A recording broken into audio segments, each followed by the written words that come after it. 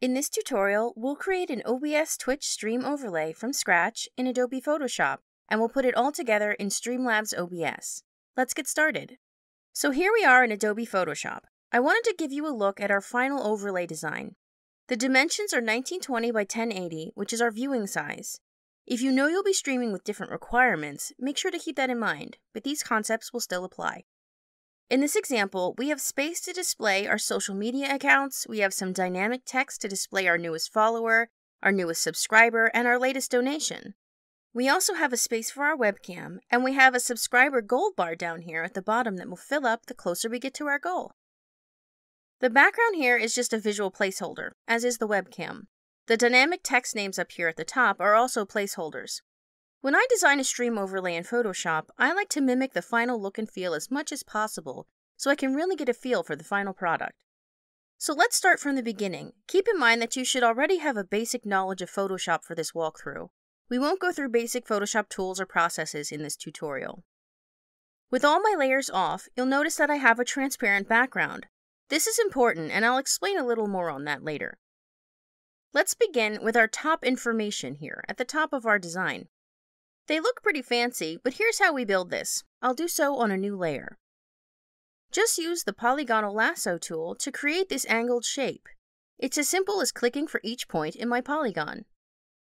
Then, when I'm happy with my selection, I can fill it with the color black, or any other color you prefer. Once we have our shape, we can create the colorful drop shadow underneath. It's really simple. Just copy the layer with our shape on it, then, lock transparent pixels right here in our layers panel. This basically means that we won't be able to draw outside of the boundaries of our artwork anymore. So next we can choose our gradient colors, a blue and a light cyan, for our foreground and background colors here in the Tools panel. Select the Gradient tool, it's located here under the paint bucket, and then we can apply it to our shape. Now this colored shape will need to be below the black polygon. Then we can adjust it so it sits beneath it. Repeat this process until you have as many panels as you'd like. I use the text tool to place text above each panel too, but this is optional. We can follow the same process for our social media info in the other corner. Check it out. It's just another polygon that I drew with the polygonal lasso tool, filled it with black, and then used that same gradient on a copy underneath. The social media icons were pasted in. You can find a ton of classy social media icons on Envato Elements, and again, use the text tool to add your info. I also want to note that I like to keep my elements all sorted into folders. This is largely for organizational purposes, but once you start creating a lot of components here, it can get really confusing. So organization can really help. Let's continue to use these ideas to continue creating our layout. For example, let's look at our webcam placeholder. All I did here was use my rectangular marquee tool to draw a rectangular shape. Then, I filled it with black.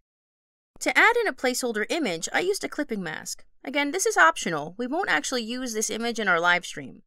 Again, I like to create a lifelike mockup, so I can really get a true to functional feel for how my overlay is going to look once I get it all into Streamlabs OBS. The same here is going to apply to our sub goal, here in the corner. The actual progress bar here is just a placeholder for now, so we can see how it's going to look in action.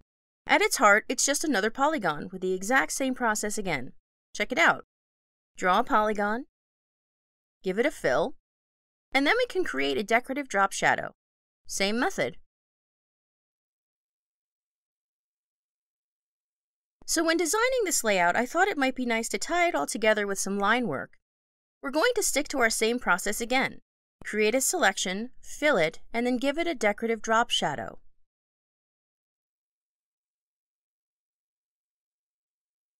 Now this gets a little more complicated at the bottom because I changed the angle up a little bit. Still, we've already used this process. There's several ways you could do this, but again, I like to use the polygonal lasso tool.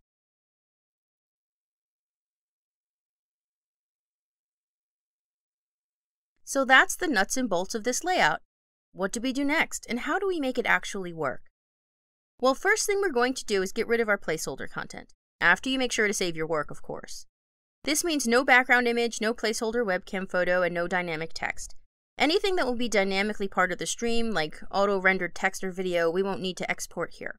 Again, that stuff was just a visual preview for our reference as we were creating our design.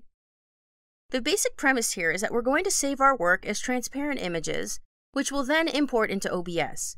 There's no absolute correct answer here. You can save and import and construct your layout in so many different ways, so keep that in mind. These are concepts that you can use, but not necessarily laws that you have to follow.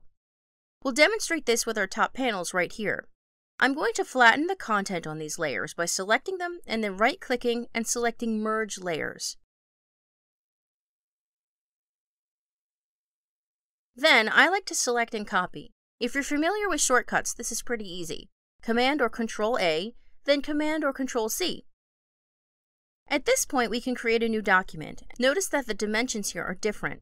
It's the exact size of the content we just copied, so just click Create and then Paste. So here we have our work, all flattened and ready to go. So we have a choice here. We could save each of these panels individually, or we could save some time and save them as a group. Individually might be nice if you know you want to move them around, but if you're sure you want them in a line just like this, we can save them collectively. I'm just going to save a transparent PNG file of them as one group. And that's the process that we're generally going to repeat for each element of our layout. Let's try it again with another piece.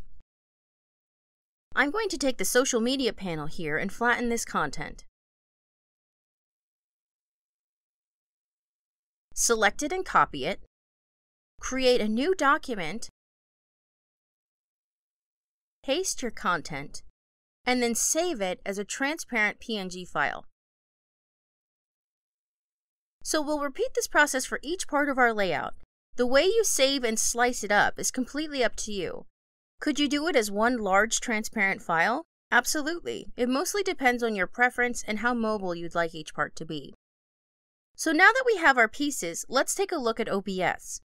In this demonstration, we'll be using Streamlabs OBS specifically, but you could also use standard OBS. The concepts here are similar. For starters, we have scenes. So let's start off with a new scene here called My Overlay. Keep in mind that you can have and use multiple scenes if you'd like to. Scenes contain sources, so let's add a new one by clicking on the plus sign here. We'll add an image.